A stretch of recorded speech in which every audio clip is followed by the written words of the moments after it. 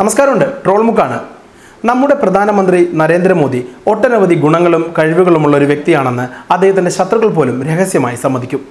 രാജ്യത്തിന് സ്വാതന്ത്ര്യം ലഭിച്ചതിന് ശേഷം ജനിച്ച ആദ്യത്തെ പ്രധാനമന്ത്രിയാണ് അദ്ദേഹം.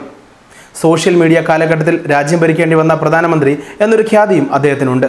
ചുരുക്കി പറഞ്ഞാൽ സോഷ്യൽ മീഡിയയുടെ ശക്തി ഉപയോഗിച്ച് പ്രചരണം നടത്തി രാജ്യത്ത് മോദി തരംഗം തീർത്ത ഒരു വ്യക്തിയാണ് അദ്ദേഹം. അപ്പോൾ അതുതന്നെയാണ് പറഞ്ഞു വരുന്നത്. സോഷ്യൽ മീഡിയയും നരേന്ദ്രമോദിയും. അതാണ് ട്രോൾ മുക്കിന്റെ ഇന്നത്തെ വിഷയം. പുലർച്ചെ മൂന്ന് മണിക്ക് ഹിമാലയത്തിലുള്ള കുളി. അത് കഴിഞ്ഞിട്ടും മോദിജിയുടെ കഷ്ടപ്പാടുകൾ തീരുന്ന മട്ടില്ല. ആ വെളിപ്പെടുത്തലിൽ സോഷ്യൽ മീഡിയ ചിരിച്ചു തീരുമ്പോഴേക്കും അടുത്ത വെളിപ്പെടുത്തലുമായി നരേന്ദ്രമോദി രംഗത്തെത്തിയിരിക്കുകയാണ്. ഹിമാലയത്തിലെ കൊടുംതണുപ്പിലെ കുളി കഴിഞ്ഞ് നേരെ പോയതാകട്ടെ കൊടും വനത്തിലും. അതൊക്കെ പോട്ടെ ആ പാവം മനുഷ്യൻ ഇന്നും അതിന്റെ ഓർമ്മയ്ക്കായി പണ്ട് കാട്ടിൽ കഴിഞ്ഞതിന്റെ ഓർമ്മയ്ക്കായി എല്ലാ കൊല്ലവും ദീപാവലി സീസൺ നോക്കി അഞ്ച് ദിവസം കൊടും വനത്തിനുള്ളിൽ കഴിയാറുണ്ട്. അതിന്റെ കാരണം എന്താണെന്ന് ചോദിച്ചാൽ അല്ലെങ്കിൽ എന്തിനാണ് അദ്ദേഹം ഇങ്ങനെയൊക്കെ ചെയ്യുന്നത് എന്ന് ചോദിച്ചാൽ അതിന്റെ ഉത്തരം ഞാനല്ല. ട്രോളന്മാർ തന്നെ നിങ്ങൾക്ക് പറഞ്ഞു തരും. പണ്ടൊരു കോമഡി സ്കിറ്റിൽ ലളിതഗാനത്തിൽ അപ്പീൽ മുഖേന ഒന്നാം സമ്മാനം നേടിയ നമ്മുടെ സുമേഷ് ജനാർദ്ദൻ പറഞ്ഞതുപോലെ പറയുകയാണെങ്കിൽ കാട്ടിൽ പോയി സിംഹത്തെ പിടിച്ച് കൊങ്ങ പൊട്ടിച്ച് കൊന്ന് വെയിലത്തിട്ട് ഉണക്കി ഗുജറാത്ത് മാർക്കറ്റിൽ കൊണ്ടുവിൽക്കുമ്പോൾ മോദിക്ക് കിട്ടും രൂപ മുന്നൂറ്റി അൻപത്. ഒരിക്കൽ ദീപാവലി സീസണിൽ ഓടി ഓടി കാട്ടിലെത്തിയപ്പോൾ നരേന്ദ്രമോദി ചെന്നുപെട്ടതാകട്ടെ ഒരു ആനയുടെ മുന്നിലും. പക്ഷേ രക്ഷപ്പെട്ടു. എങ്ങനെയെന്നല്ലേ?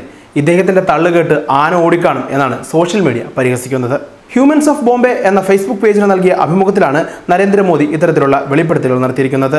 അത്തരത്തിലെ വെളിപ്പെടുത്തലുകളിലെ ചില രസകരമായ ട്രോളുകൾ കാണാം.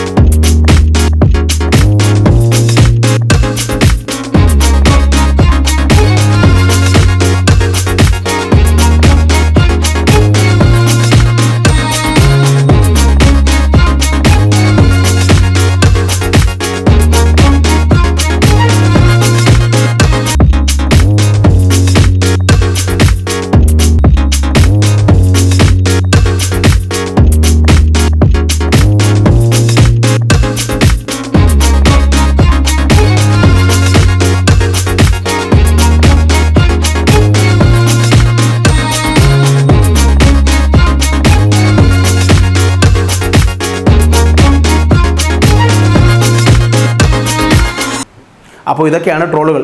ചിരിച്ചു തീർന്നു എന്ന് പറയാൻ വരട്ടെ. അഭിമുഖത്തിന്റെ രണ്ട് ഭാഗങ്ങൾ കൂടി ഇനിയും വരാനുണ്ട്. ട്രോളന്മാർക്കും ട്രോൾ മുക്കിനും കൂടുതലൊക്കെ കിട്ടും എന്ന വിശ്വാസത്തോടെ ഇന്നത്തേക്ക് അവസാനിപ്പിക്കുന്നു. നന്ദി നല്ല നമസ്കാരം.